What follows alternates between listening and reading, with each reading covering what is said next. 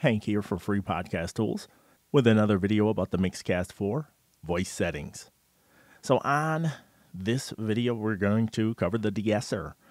And the de-esser simply acts to reduce some of the sibilance of your voice. So, inside the manual de-esser settings, the default is set to negative 52 dB. That's the threshold. So, when sibilance is above that limit, this will start working. And they have the frequency set to 4,000 hertz. This isn't a locked in place rule. Typically, male sibilants will be roughly between 3,000 and 7,000 hertz, and female sibilants can be in the upper ranges of 5,000 to 9,000 hertz. It's very much dependent on your voice. And believe it or not, a lot of dental work can impact sibilance as well or simply how you pronounce words. In future videos, I'll go over some of the things I've learned over the years where you are able to try to reduce sibilance just by the way you speak. But this video is just focusing on this. So the problem with this setting is what if you don't know where your sibilance lies? You could try to combat this in a couple of different ways. The long way, you could set this setting, start at the very bottom and move it in increments until you notice your sibilance coming down. That could take a considerable amount of time and it might be a bit boring to do, or your ears might start playing tricks on you and you start getting rid of stuff you want to save and missing that treble frequency. What sibilance at its core really is, is a shrill sound that is like sticking needles in your ears. You will simply know it when you hear it. My personal setting on the Mixcast 4 is negative 50 dB, and my treble frequency is 6,000 hertz. So I notice when microphones have a bump in that area, I end up sounding more sibilant than on microphones that are either flat or have a little dip in that area. So I was going to pair this out into another video, but I am going to show you quickly how I find sibilance on myself and on my co-hosts. All right, so I'm going to link to the website that I got this plugin from. It was really inexpensive, but it helped me out greatly when finding sibilants, and this is what I do. So in my audio editing course, I created a small little file sample where I just over exaggerate S's. So I'll let you hear it on here. Susie said she wanted to sing a song. So uh, as you can see, I just gone way overboard right there with that. Why I did that is so I could find where the treble frequencies are easier in that training video.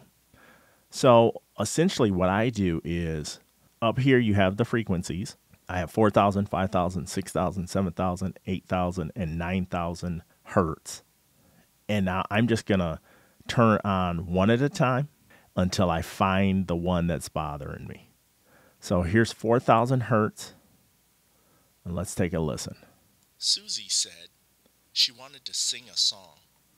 So there's some shrillness there, but it is um, not necessarily sticking needles in my ears yet. So let's go to 5,000. We turned off 4,000, we turn on 5,000. Susie said Ooh, she wanted to sing a song. that's pretty painful. But I think it gets worse. Let's go to 6,000. Susie said There it is. she wanted to sing a song.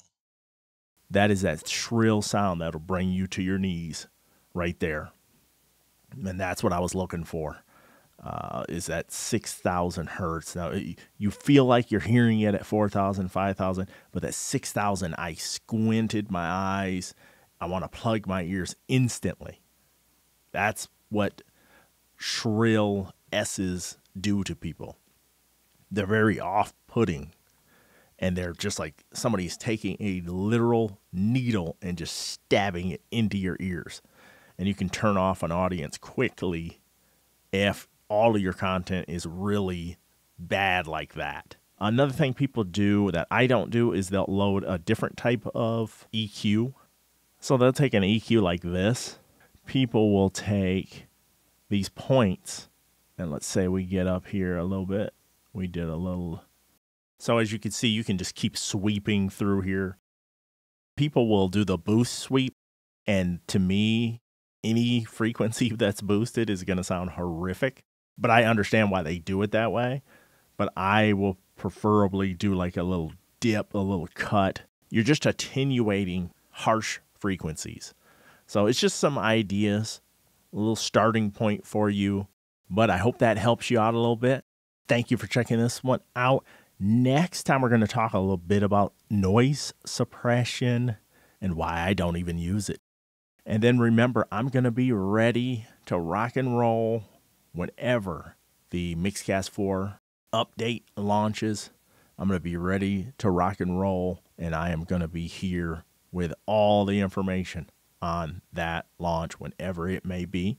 So stay tuned to the channel. Please subscribe, like this video, share it to others who you think it might help. Until next time, thank you.